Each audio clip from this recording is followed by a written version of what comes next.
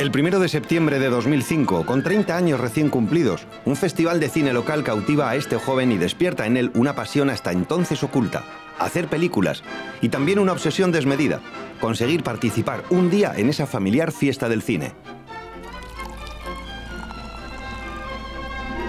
Soy de los que piensan que quien lucha por conseguir un sueño, al final obtiene su recompensa.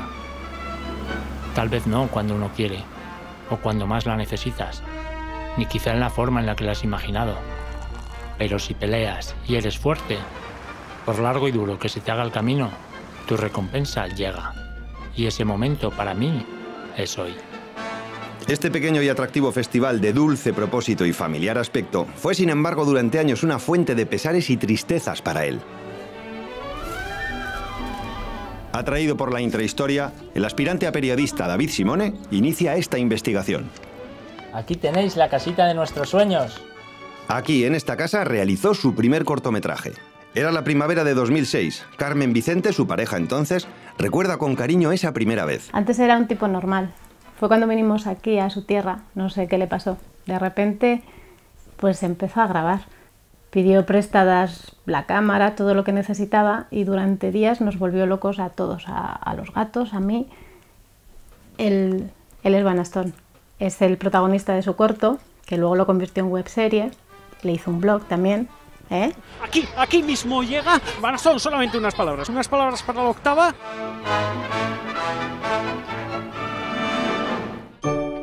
Satisfecho con la experiencia y listo para emprender proyectos cada vez mayores que le permitieran conseguir el sueño de participar en el festival, este joven apostó por la historia que le pareció menos arriesgada de las dos que había escrito. Tú estás paralizado porque, hostia, que te venga un avión de frente. Joder, que es que viene aquí. ya, ya. Me cagaría, tío. La puta. La puta. No lo creo, tío. Dios. La puta.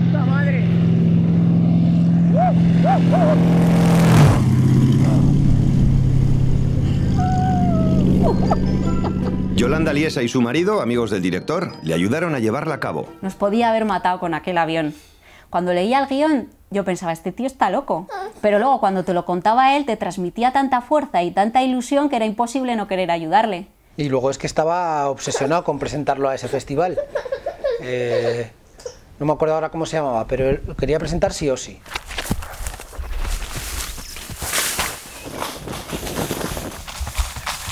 Ramón Morales, empleado de banca en la vida real y actor protagonista, sufrió en sus carnes este afanoso intento. Pues me acuerdo perfectamente el día que Maxi me dio el guion. Me lo dio y, me dijo, sobre todo, no te lo leas. Yo creo que quería captar eh, mi sorpresa cada día de rodaje. Después hubo bombas, persecuciones, eh, hubo disparos. Fue una experiencia increíble, fue, de verdad fue una auténtica pasada.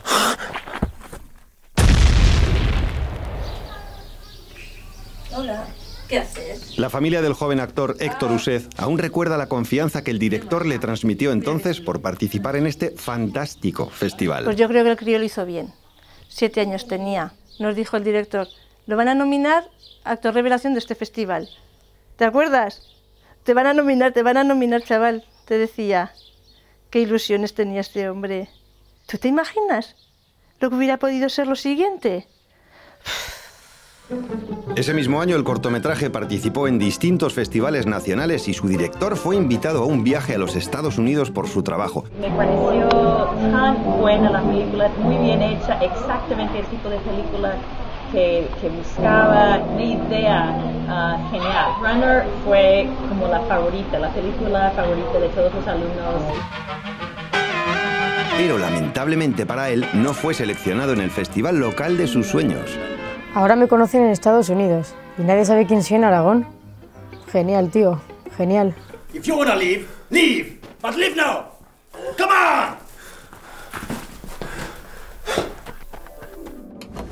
Un libro nos incluyó entre los 50 mejores cortos de España y en Estados Unidos fue un éxito. Pero en el festival de aquí, en el que Maxi nos había prometido, nada de nada. Han pasado los años y yo cada vez que me lo encuentro me da la impresión de que él siente que nos debe algo. Nos lo había prometido. Sí que juego con mis ilusiones y con las de mi familia y nos falló. Ese fue el primero de su lista de fracasos. Sin embargo, el joven seguía firme en su propósito de mejorar lo necesario para alcanzar el nivel que exigía ese pequeño festival de sus amores. Así, en 2011, con la base del mismo equipo de trabajo, se siente preparado para llevar a cabo su proyecto más pretencioso, el que le abrirá de par en par las puertas de su particular sueño. ¡Ey, tío! Lo importante es que salgan cosas como este final, detalles muy buenos. Así, partiendo así, cojonudo. Aguanta, aguanta, disfruta con tu obra y te vas. Nos citamos con el director y le preguntamos sobre este laborioso cortometraje. Sí, era ambicioso para nuestros medios, pero sentí que merecía la pena intentarlo. Muchas localizaciones, muchos actores. Con una historia tan compleja nos acercaríamos bastante a lo que, a lo que es una auténtica película y eso iba a ser bueno para todos, seguro. Toda la obra personal del artista ha quedado reducida a cenizas. Lo único que debes saber es que estoy dispuesto a pagar 300.000 euros por la figura. ¿Y cuál era su voluntad? Al diablo su voluntad. Está muerto, maldito idiota. Y bien, tienes algo valioso para mí, ¿no? Cuéntame lo que sabes, miserable. Voy a joderte vivo. Sobre el resultado de esta obra hablamos con Leandro Martínez, director de la Filmoteca de Cine de Zaragoza. Un auténtico descubrimiento y un auténtico placer. Nos pareció que era un tema interesantísimo y que nos tocaba a todos realmente muy, muy de lleno, pero con un vigor y una fuerza ese thriller que realmente nos encantó. Maxi Campos es para la provincia el Quijote de Huesca. Después de un año de intenso trabajo y mucha ilusión, el alto aragonés Maxi Campo estrena en el Teatro Olimpia de Huesca su nuevo corto, Figura. Ha logrado algo bastante difícil para un cortometraje, colgar el cartel de No hay entradas en el Teatro Olimpia de Huesca. El esmerado director consiguió generar mucha expectación con el cortometraje. La verdad es que Figura fue un hito en la historia de, del Teatro Olimpia. Nunca antes habíamos programado un cortometraje solo, era la primera vez, desbordó todas las previsiones que teníamos, vinieron más de 700 personas, el teatro se llenó y a partir de ahí abrió un camino que luego hemos explotado, ¿no? apoyando a los realizadores orcenses o de la zona. Tras su multitudinario estreno y buena acogida, el viento parecía soplar a favor. Esta buena época de promoción y distribución coincidió también con su viaje a los Estados Unidos. La verdad es que me encantó, tiene mucha acción y muy desierto. Very interesting. Almost as good as the runner, maybe even better. Visitamos a Óscar Abadiano, uno de los actores protagonistas del film. Nos cuenta las expectativas que en él generó ese trabajo. Sí, pues el rodaje fue una auténtica pasada. Fueron tres meses a tope de mucho trabajo. Incluso contamos con la presencia de un actor de fama nacional como Chema Blasco. Él esperaba que alguno de nosotros, eh, tanto actores, equipo técnico, músico, fuéramos nominados en el festival de aquí. Era como su recompensa. Yo en estos momentos no me puedo quejar porque gracias a este proyecto he seguido trabajando en cortos, largometrajes, de hecho estamos aquí rodando parte de un corto, pero él... Yo, yo con esperanza, con, la sensación de, de, poder cumplir un sueño y poderlo compartir con, con todo el equipo.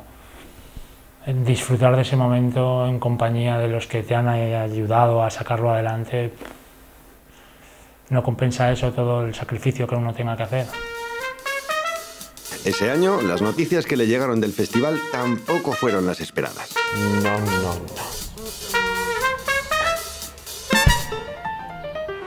Viajamos hasta el estudio del compositor Marco Zaragoza, creador de las bandas sonoras. A mí me resulta increíble que un cortometraje eh, seleccionado en más de 15 países y con un premio internacional en Estados Unidos no sea seleccionado en un festival de, de cortometrajes de Aragón, ¿no? cuando nosotros somos aragoneses. Ya pasó con el anterior, con Runner, y, pero bueno, con, eh, con Figura a mí ya me parece, me parece el sumum, ¿no? Que no, porque es un cortometraje de puta madre y que, y que de corazón creo que merecía haber estado seleccionado en el festival. Yo creo que sí. Eh, que en mi pueblo por lo menos hemos ganado el premio del público. Eso también cuenta, ¿no? No. Desafortunadamente él siente que todo no tiene el mismo valor. Es un poco extraño, porque dirigiendo tiene esa energía, esa seguridad, esa, ese arranque, que parece que pueda con todo lo que le echen y te arrastra. Pero en lo personal es tan, tan sensible, tan vulnerable.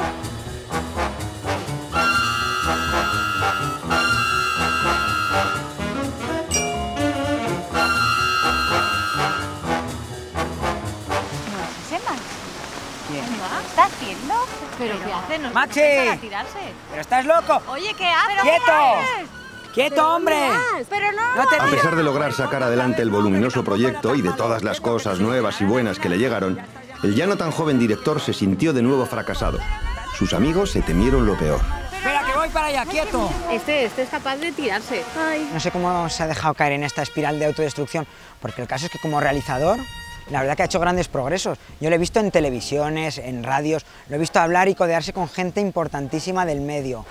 Incluso ha viajado a otras partes del mundo, es que, no sé, pero tiene esa espinita clavada ahí, que le duele, que le duele, que le escuece. Me da miedo que le pongan el estigma de director maldito.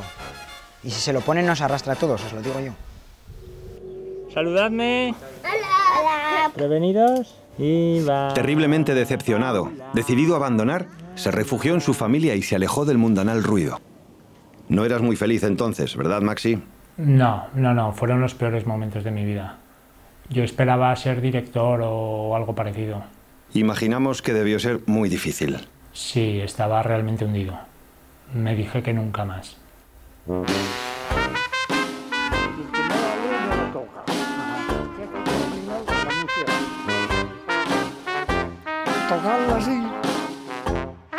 Yo que sabía lo que era ni una trompeta ni ningún instrumento.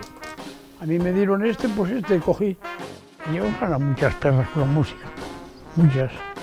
En este tiempo, como terapia personal, realizó un humilde e intimista documental con el que, paradójicamente, obtuvo el mayor reconocimiento personal y profesional de su obra hasta la fecha. Unha curtametraxe moi especial polas bonitas reaccións que provocou e porque inaugurou a primeira edición do noso festival Pe. Aupado por la crítica recibida y por su alto porcentaje de selección en festivales temáticos nacionales e internacionales, no dudó en probar de nuevo suerte en ese festival que premiaba el trabajo de la gente de su tierra. Tal vez las cosas ocurran cuando menos te las esperas, pensó. Nuevamente fue rechazado. Hemos contactado con su ahora mujer y sus dos hijos para que nos hablen de esa difícil época. La vergüenza que les produce hablar de los fracasos de su padre obliga a su madre a disfrazarlos para pasar desapercibidos. Mi papá siempre nos ha dicho que si queremos conseguir algo tenemos que luchar por ello y no rendirnos nunca. Sí, pero él se rinde. Ya.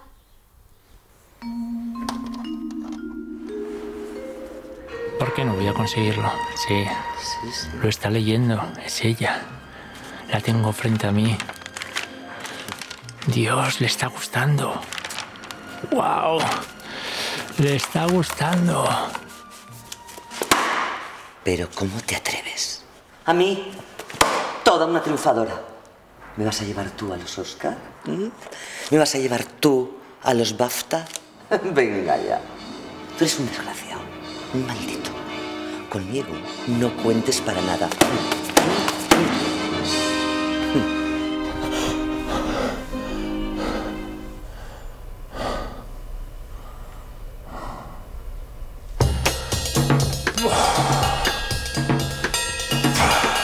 Agradecido por todo lo vivido, aparentemente más maduro y con las ganas del primer día, en el verano de 2014 pensó que Tal vez si consigo esta vez presupuesto y me embarco en algún nivel superior, con equipo técnico y artístico de primer nivel, sí. Voy. voy a hacer otro corto. No, otra vez no. Sí, es la única forma para salir de esta situación. Y creo que sé cuál es el camino. ¿Y si te rechazan otra vez? No me van a rechazar. Y peor es ser un cobarde, ¿no? No quiero que sufras. No te preocupes. ¿Crees que soy tan tonto como antes? Sí.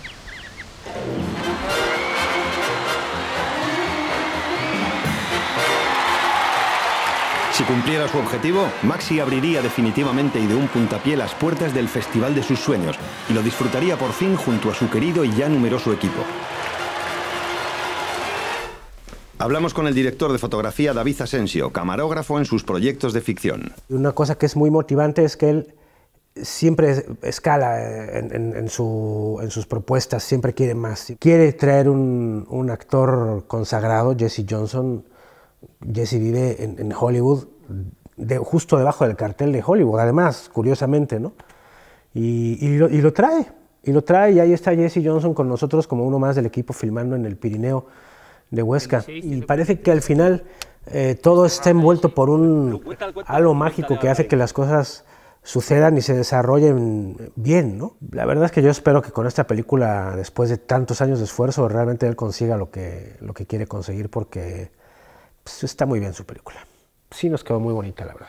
Así que Mosén Bruno Fierro, ¿eh? Rubiales, un chaval extranjero preguntando por Mosén Bruno. Además de apoyo financiero público, privado y de crowdfunding, el proyecto consiguió también un impacto mediático notorio. Sí, un proyecto más o menos pequeño, mucha gente, mucha expectación y esperará que la gente le guste y hay esperanzado y con ganas. Esperanzado y con ganas y sobre todo sin entradas, que esto es lo más sorprendente porque Sí. las 500 butacas ya no queda ninguna. Para preguntarle sobre sus impresiones, nos recibe Jaime Fontán, jefe de producción de Aragón Televisión. Yo me llevé una sorpresa muy agradable, uno por la cantidad de gente que fue, el teatro estaba lleno, y dos por la calidad del, producto que me encontré. Para mí es un producto que cumple todos los requisitos para poder ser emitido en la televisión autonómica de Aragón, con una posible y futura negociación, pero yo, vamos, creo que es un producto que debe de estar en esta televisión. Sois gente muy maja los montañeses. Algo feos, pero gente maja. La sucesión de proyecciones por la región, el calor con el que el público lo recibía, festivales, viajes. En 2015, por fin, el sueño del maltrecho creador iba a hacerse realidad. Antón Castro, escritor de novela y cronista, le dedica unas palabras. Bueno, a mí me quedó un magnífico sabor de boca con la película anterior, que era Con la solfa en la cabeza, que me pareció un elogio muy interesante de la música popular, pero también del cine documental. ¿no? Y con esta película me ha parecido que Maxi hace, lo hace todo, hace cine de ficción, hace cine documental, mete el cine documental dentro de la ficción, y luego sobre todo yo creo que hay dos cosas muy importantes. El gran homenaje que hay al paisaje, a la memoria, a la evocación, y sobre todo como eh, también al- a, a la historia de cómo se hace el cine. Que eso me parece que podríamos, exagerando un poco, podría ser esta película La Noche Americana de Maxi Campo. Ahora, una copita para celebrarlo. Invita a Pedro. Pedro, Pedro, Pedro,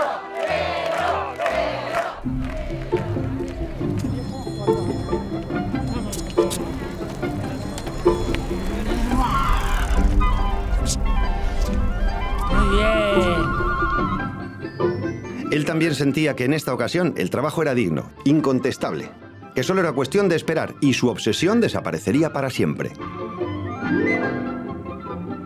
Román Magrazó, director premiado en ese mismo festival dos años atrás, nos habla sobre cómo vivió esos momentos previos. El director maldito le llamamos nosotros. Yo suelo conversar con él muchísimo en el trabajo de diferentes proyectos, películas. Ya lo veo muy tranquilo, lo veo muy sosegado, lo veo muy centrado también en otros proyectos ya. Y bueno, él está convencido de que ha hecho un muy buen trabajo como Mosen Bruno y está muy, muy seguro de estar este año en el Festival de Cine de Fuentes, ya que ha estado en 10 países diferentes ya proyectándose este trabajo.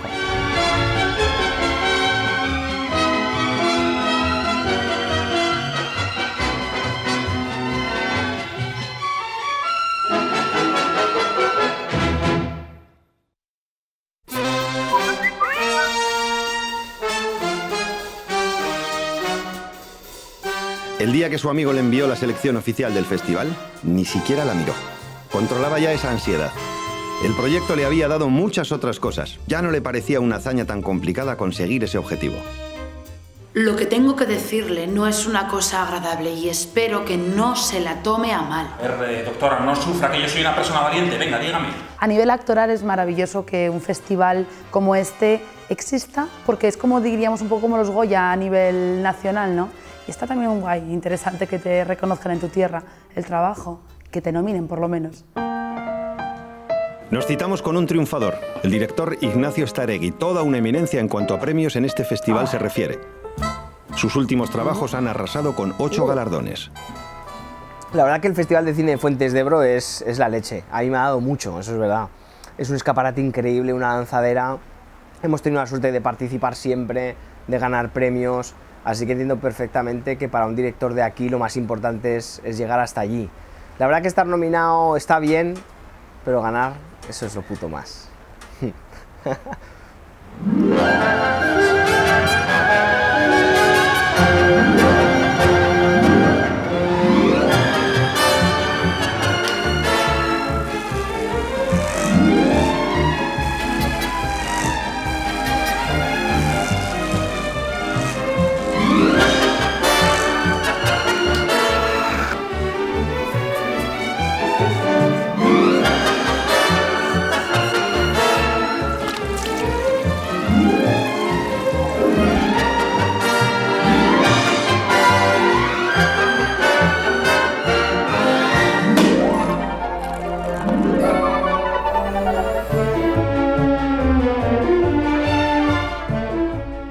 semanas antes de ese esperado momento, cuando cayó en la cuenta de que aún no había tenido curiosidad por consultar en qué categorías estaría finalmente nominado su trabajo, lo que vio le dejó aún más helado.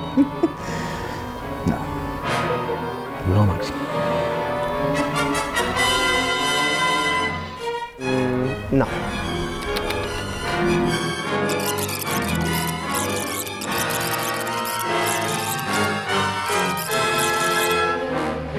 La doctora Victoria Martínez, psiquiatra especialista en tratar con el ego de los artistas, nos explica cuáles pueden ser las consecuencias que siguen al shock por recibir una noticia de esta importancia cuando menos te lo esperas. Ante un cuadro clínico así, una persona con una estructura del yo débil, como es este paciente, con sus antecedentes biográficos, ante una situación considerada como injusta, puede presentar un pronóstico desfavorable, pudiendo desarrollar psicopatología de tipo obsesivo o paranoide o incluso autolesiones como una manera de amortiguar el dolor emocional. En un extremo, puede presentar ideas de muerte si considera que así dejará de sufrir.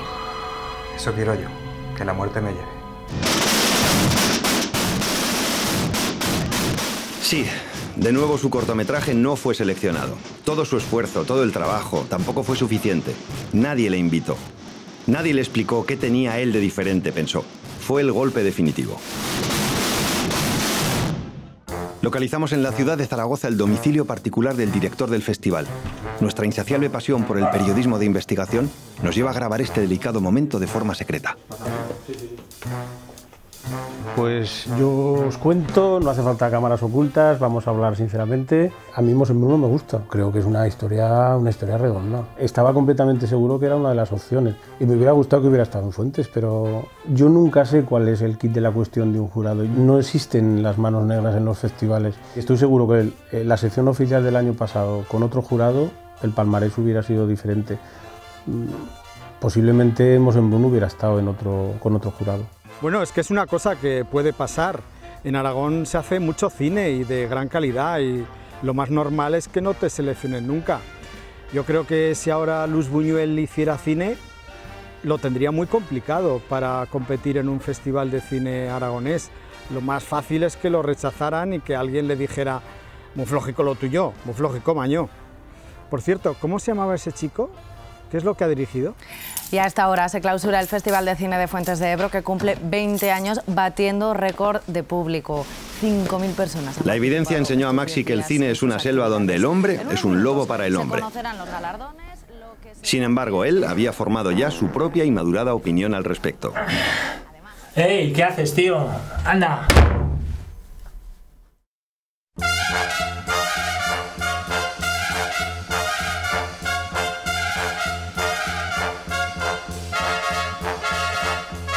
En el pueblo de Amanece que no es poco sentían devoción por Fulner, pues en Lechago sentimos adoración por los directores malditos. Igual te acabamos dedicando una calle. No pienses tanto en ese festival y que sigas haciendo cosas y que seguro que vas a acabar haciendo esa película que tanto quieres hacer. Ni en sueños trabajaría contigo. Maldito. No es el caso, pero yo preferiría ser un director maldito a un director bendito. Así que, mucha suerte. Maxi, no solo es cuestión de hacer cine, también hay que salir por ahí, conocer gente, ir de bares, si no, no vas a llegar nunca aquí. Grandes autores malditos, como Stieg Larsson o John Kennedy Toole, alcanzaron la gloria al morir. Así que no te preocupes, Maxi, tu problema se solucionará en cuanto mueras. ¡Ánimo! Antes que nada, querría agradeceros ¿no? el esfuerzo que habéis hecho viniendo aquí a interesaros por, por nuestra historia. ¿no? Muchas gracias.